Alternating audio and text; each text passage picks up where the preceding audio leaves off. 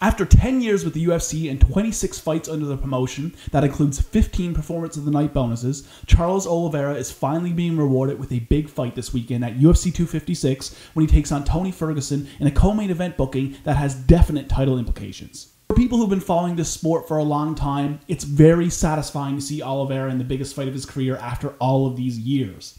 It's a booking that nobody saw coming, but the Brazilian could not be any more deserving of the opportunity he's being afforded this weekend.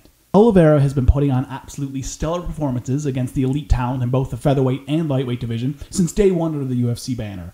And it's not even the first time he's been on the cusp of a title shot. It's just one of those situations where over the years, right when he gets to the big fight that would ultimately put him over, he'd falter. Whether it was taking a loss to Max Holloway, Frankie Edgar, or Anthony Pettis, being at the forefront of the title conversation has eluded him all these years. Since making his return to the lightweight division back in 2017, things have been going his way. And because he can't speak a lick of English, the fans, media, and the promotion can not give him the attention he deserves all they want. But after stringing together a seven fight win streak in the most talent rich division in the sport, with all seven of those wins coming by way of stoppage, and six of those wins earning him Performance of the Night honors, he's giving everybody no choice whatsoever. He cannot be denied these big fights any longer. Despite the incredible career he's had thus far, amassing a 29 8 professional record, and for as long as he's been around, Oliveira is still just 31 years old. He's been in his fair share of wars, but all things considered, he has maintained his durability, and as of late, he's been looking sharper than ever.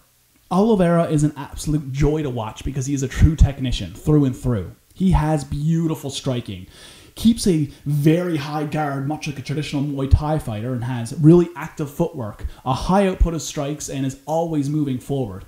His kicks are especially beautiful to watch because the technique is perfect. He's always feinting with his legs and throwing jumping kicks and jumping knees.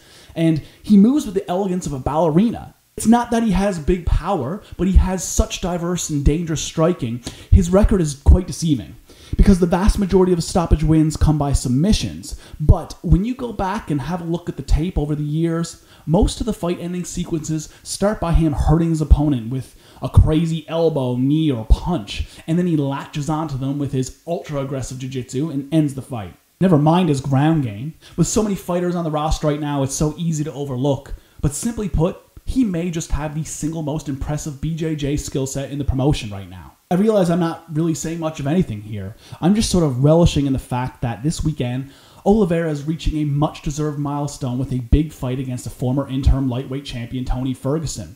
He's been flying under the radar for just too long now, and it's about time that he gets this opportunity. As for Ferguson, well, what more can you say about that man? He's one of the most unorthodox fighters in the UFC, both inside the cage and outside of it he's been on a serious roll for many years now that has not only seen him in really big, high profile fights, but also elevating him into one of the most popular fighters on the roster right now. This isn't to take anything away from Justin Gaethje. Anybody who's seen my work over the years knows that I've always been extremely high on him, and I believe he is everything that he's portrayed to be. But I do feel like Ferguson seemed kind of flat in that last fight against him. I can't put my finger on exactly what it was, but he just didn't seem to be himself. There are many reasons why that could be. The circumstances surrounding the booking of the fight, the subsequent cancellation of the fight, and then the quick turnaround or the rebooking of it, all of this happening right when we we're in the very thick of the pandemic. There's also the fact that he unnecessarily did a weight cut just weeks before just to prove a point. Whatever it may have been, I just feel like that wasn't the best Ferguson we've seen. And I also believe that coming off of that performance and heading into this fight, Ferg is going to have his affairs in order and be very ready for this contest. Which is what makes this fight so compelling. When I think about how both of these guys fight, I just imagine that classic cartoon animation of a moving cloud of dust going all around the octagon with the fists and knees and elbows flying in from all angles, uh, just until somebody finds their mark and ends the fight. Either way, Oliveira is finally getting his due. And if he can pull off what I believe he will this weekend, it's going to mean big, big things for his future.